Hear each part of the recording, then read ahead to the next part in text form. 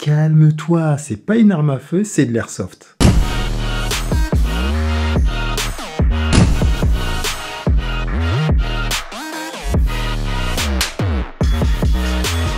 Salut la famille X, c'est X, bienvenue sur ma chaîne pour une nouvelle vidéo. C'est une vidéo très rapide où je vais vous expliquer comment marche le chronographe de chez AliExpress. Donc euh, c'est un truc qui coûte entre 40 et 50 balles. J'ai la version Wi-Fi, donc qui va pouvoir se connecter au téléphone et lister tous vos tirs euh, directement dessus. On va couper les notifications. Euh, donc je vais vous montrer un peu comment ça fonctionne de manière générale, donc sans la fonction Wi-Fi et ensuite avec la fonction Wi-Fi. Donc, déjà, il faut mettre en place euh, les deux bandes de LED. Euh, donc, moi, sur le mien, il y a des indications euh, sur le sens. Donc, le sens de la, du projectile et le sens gauche-droite de chaque rangée de, de, LED. Si jamais vous n'avez pas ces indications sur le vôtre, parce qu'il y a plusieurs versions qui sont plus ou moins bien finies, il faut vous dire que quand on a l'appareil face à nous et dirigé donc vers l'avant, euh, les petites résistances sont du côté euh, gauche, ok? Sur les deux, hein. côté gauche. Euh, voilà, et comme ça vous savez que vous êtes dans mon sens. Alors maintenant, comment ça se présente? Donc on a un interrupteur qui est ici sur le dessus, et en dessous on a une trappe avec quatre piles AA, donc les anciennes LR6, donc 1,5 volts, donc ça fonctionne en 6 volts. Et on a une deuxième alimentation sur le côté euh, qui peut être alimenté en USB, donc soit avec une power bank, soit avec un petit chargeur de téléphone qui se branche sur le côté pour le module Wi-Fi.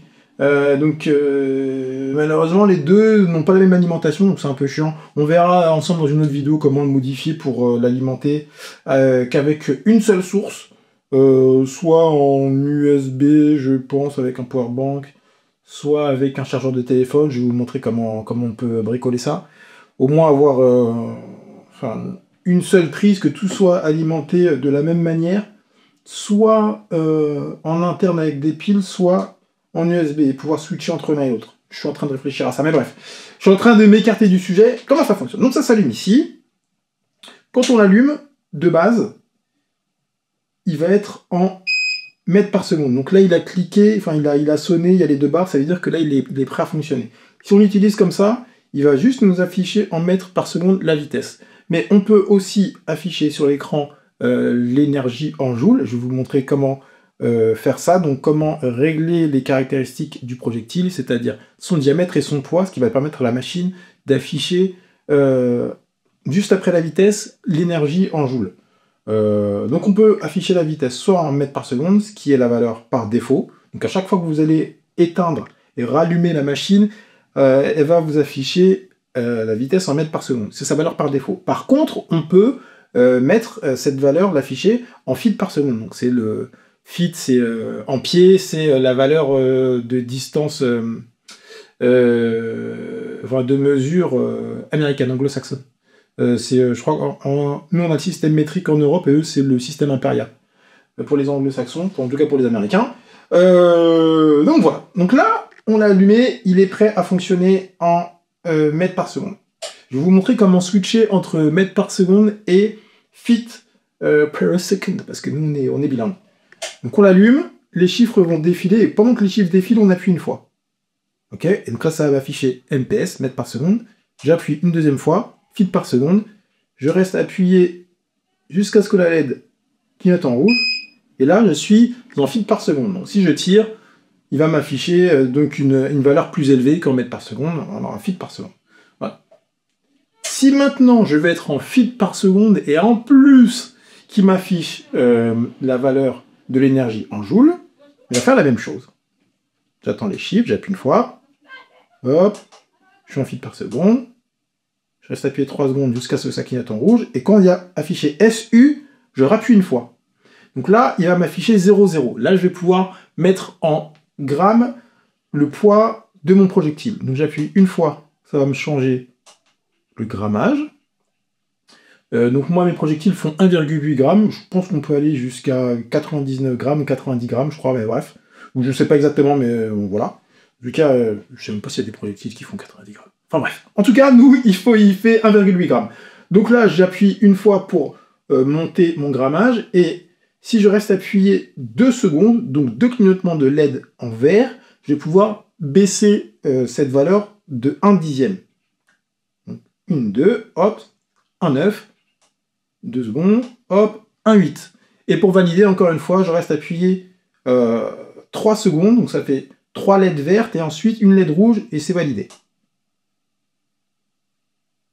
Hop, là maintenant je suis à mon diamètre, donc moi, mon projectile fait 11 mm, donc je vais à 11. Et c'est le même principe, si jamais il fait 10,5 euh, par exemple, je reste appuyé 2 secondes pour baisser euh, d'un dixième.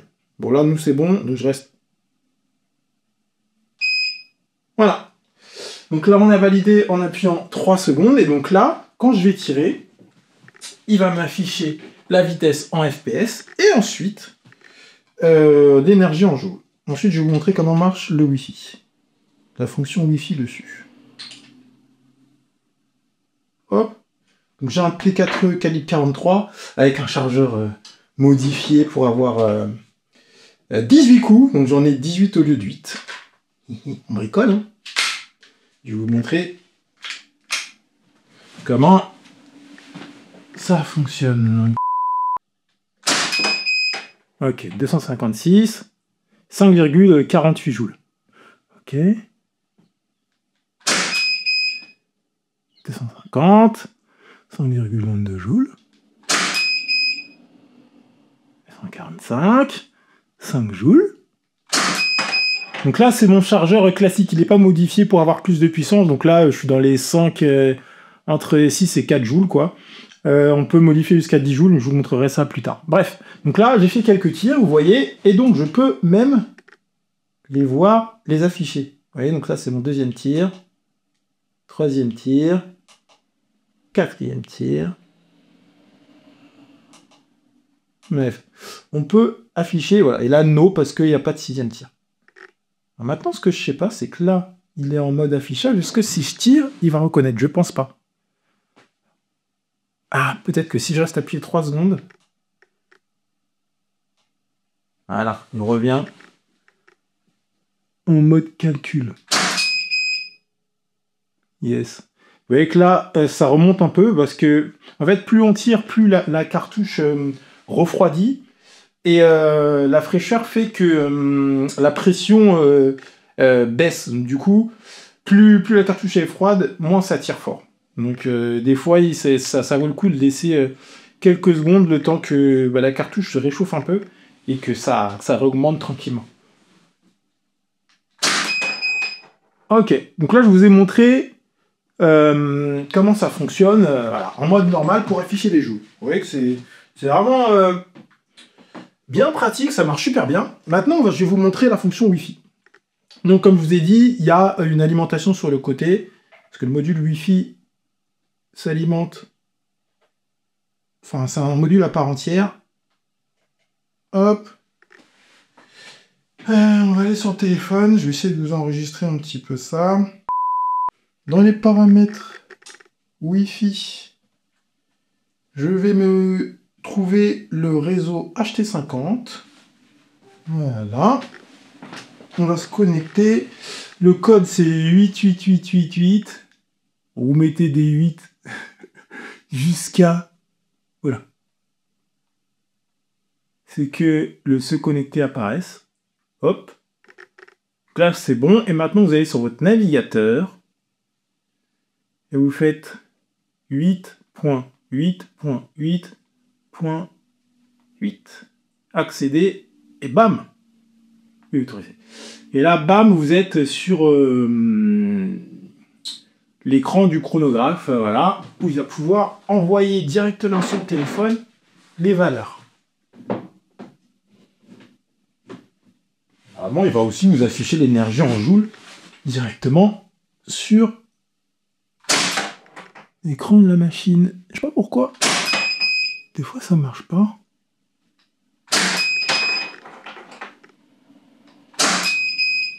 Ok.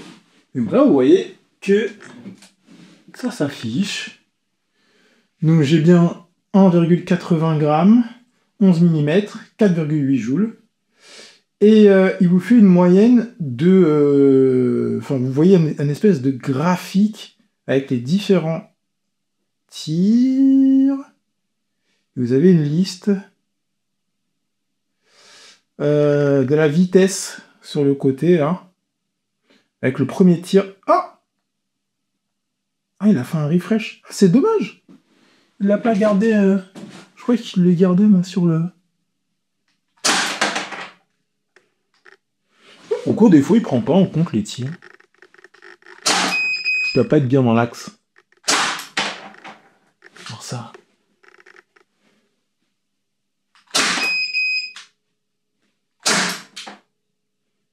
Et ma cadence de tir est trop élevée. J'attende déjà qu'il m'affiche. Voilà, et que les deux traits. Ah ben, j'ai plus de projectile. Et que les deux traits soient affichés avant de, avant de tirer. Mais, euh, Voilà un peu comment ça fonctionne. Hop. Je suis vraiment content de la confection de ce petit euh, chargeur euh, modifié. J'ai essayé de le faire pour les autres modèles euh, T4E, Glock, euh, une P9, je sais plus quoi là.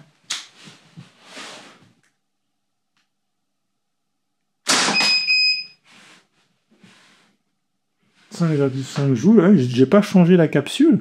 Ça a réchauffé un peu. C'est beaucoup mieux. On était redescendu jusqu'à 4, là c'est remonté à 5,5.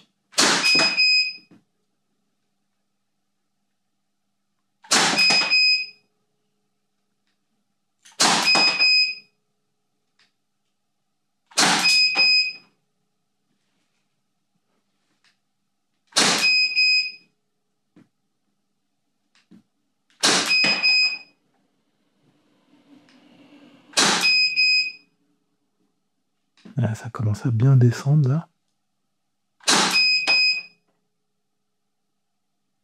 4 joules.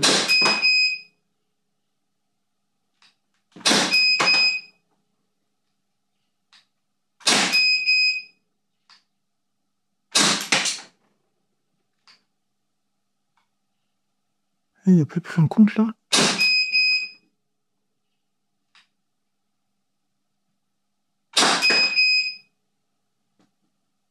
4 joules. Ah. Euh, normalement, au dernier coup, c'est censé relever l'arrêteur de culasse. Mais en fait, j'ai pas mis les mêmes. euh, En fait, normalement, il y a un ressort dur pour les, billes dures, comme là, les billes de verre, et un ressort mou pour les billes de peinture ou les billes à la craie. Et euh, bah, vu que j'avais pas de ressort dur, j'ai mis un ressort dur et un ressort mou, et du coup, c'est ce. Il restait encore une bille. C'est ce. euh, c'est en, en fait le, le bout de- du loquet du chargeur en fait qui pousse l'arrêtoire de, de culasse. Mais là, en fait, c'est. Il est trop mou, il est beaucoup trop mou pour pouvoir pousser l'arrêteur de culasse, et du coup, bah, le dernier coup, le. euh, la culasse se bloque pas, normalement, elle devrait, devrait se bloquer. En fait, de culasse devrait se lever grâce au loquet du chargeur et euh, bloquer la culasse. Mais voilà, il faut que je change de, ressort. Voilà un petit peu, bref, je vous ai montré un petit peu comment ça fonctionnait. Je pense que les petits ratés, c'est à cause de mon du fait que mon ring light doit balancer de la, lumière pile dessus. Je pense que ça le rend moins précis, moins efficace. Euh, mais euh, franchement, pour le, pour le prix que ça coûte, ça marche vraiment très très bien. C'est top. C'est vraiment, vraiment top. Donc euh, voilà, je vous ai montré un petit peu les différentes fonctions de, de cette petite euh, machine.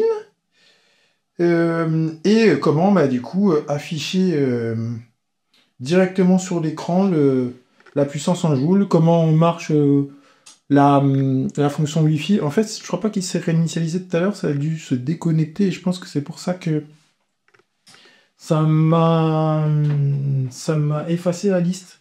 Mais euh, le, côté Wi-Fi, c'est intéressant pour avoir la liste de ses vitesses selon les tirs. Après, encore une fois, on peut tous les afficher euh, directement euh, sur le sur le lui-même. Voilà. Voir euh, la liste des tirs. Donc je sais que sur le dixième, j'ai fait 241 FPS et 4,8 joules. Voilà. On peut tout afficher directement. Donc en fait la fonction Wi-Fi en elle-même, est-ce qu'elle est vraiment intéressante Bof, hein. Bof, bof. Mais bon, elle a le mérite d'être là, donc euh, voilà comment ça fonctionne. De toute façon, euh, ouais, j'aimerais bien faire un truc pour l'alimenter en USB juste. Parce que là, l'histoire des 4 piles, là, 4 euh, piles a l'air si simple que chiant. Alors que j'ai toujours une powerbank qui traîne. Je vais voir, je vais voir pour comment tout convertir directement pour que ce soit alimenté euh, en USB. Mais ça, ce sera l'objet d'une vidéo à part entière. Voilà, en tout cas, je vous ai présenté un petit peu comment ça fonctionnait. J'espère que cette vidéo vous a plu. Si c'est le cas, n'hésitez pas à mettre un petit pouce bleu, à mettre un commentaire, à partager la vidéo, euh, à vous abonner, bien évidemment. C'est gratuit en plus, donc euh, abonnez-vous, ça fait toujours plaisir. Et puis, on se voit très bientôt pour de nouvelles aventures en vidéo, comme d'habitude. Portez-vous bien. Salut